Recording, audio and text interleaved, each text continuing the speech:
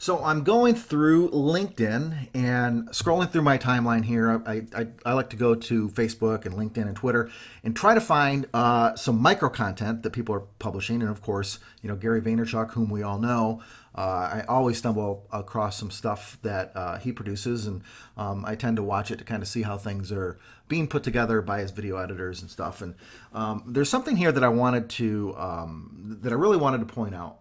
And um, what I've noticed about people that are uh, really winning on social media with video centric, snackable micro content are the people that are pu- uh, publishing more and more content, um, more so than producing perfect content. And so I found this video here. It's probably, I don't know, it's probably about a minute long or 90 seconds. And there's a multitude of things that are wrong with this video, yet it's still published. You know, I guarantee you that Gary's not you know, editing his own videos, and I guarantee you that he's probably not approving every single video. And running, you know, the Video Buddy service for the past year, um, I've, I've come across several different scenarios where we're working with clients, and, and sometimes we lose focus on um, trying to tr- trying to publish more content than than more perfect content. Uh, we figure, hey, listen, we're using a professional video editing service, or we're using a freelancer, or you know, whoever you're, you're you're, you're having to get your video done if you're not having video buddy done. We we tend to kind of look at them more at um, at at their polishing abilities more so than their ability to uh, extract and create micro content from long form content and um, that's not always i mean it's it's it's great to be to have a great attention to detail and to understand the fact that you know you, you probably should pay attention to the details but follow the lead of the people that are actually producing a lot of content. You can't produce a lot of content if you have to micro approve every piece of content, if you have to make sure that every single piece of video content is perfect. I mean, take a look at this video that we have right here. Uh, it's about 90 seconds. I'll play a little bit and stop and, and do some commentary. Let's just go ahead and play the video real quick.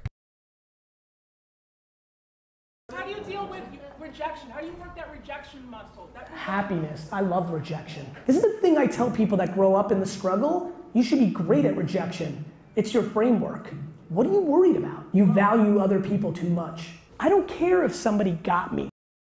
Okay, so just a couple things I'm noticing here. You know, the headline here looks a little weird because how is not capitalized, or the H in the first word of how is not capitalized.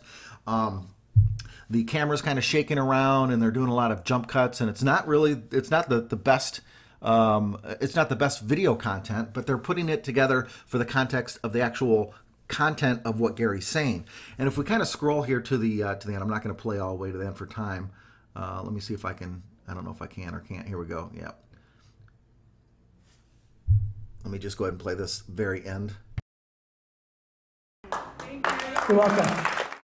Okay, well, I guess I didn't need to do that, but I mean, notice here at the at the bottom, he's got uh, open captions burnt in, and he's got the word "forever" completely spelled wrong. So obviously, this didn't go through quality content checklists 101 right? However um, it was it's still published. It's on his it's on his linkedin page. I mean it's so whoever is um, going through they understand the importance of releasing content um, and then probably polishing stuff up later. So just something to think about here. When you're dealing with us, Video Buddy, or if you've got somebody having uh, create your content, don't worry so much about the you know people who might judge you based upon uh, typos and things like that. Now, constant you know you sh- you should be concerned about that, but don't let that um, stop you from releasing content, or don't let that stop you from um, having a lot of projects pile up, these video projects that need to get approved before you can, uh, you know, through your own committee, uh, that, that need to get approved before they're actually published. Because guess what? These social media posts, they live and die a very quick death.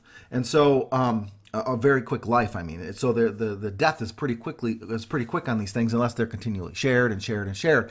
And so the name of the game with micro content is to um, align yourself with somebody or yourself who can take long form content and and put it down into micro content, snackable content, which is really what we've we've been uh, uh, you know we've been really um, finessing that craft over the past year um, and not worry about like the, the, the quality of the actual video that's going to be um, cut into to micro content. Not worry so much about if the headline is exactly perfect, it's got the best font, and that it is um, you know um, I guess grammatically correct, and that you've got spelling errors. You know, um, yes, we should look at that kind of stuff, but don't let that hold you back from publishing your content. Hope that makes sense, and uh, you have a great Sunday.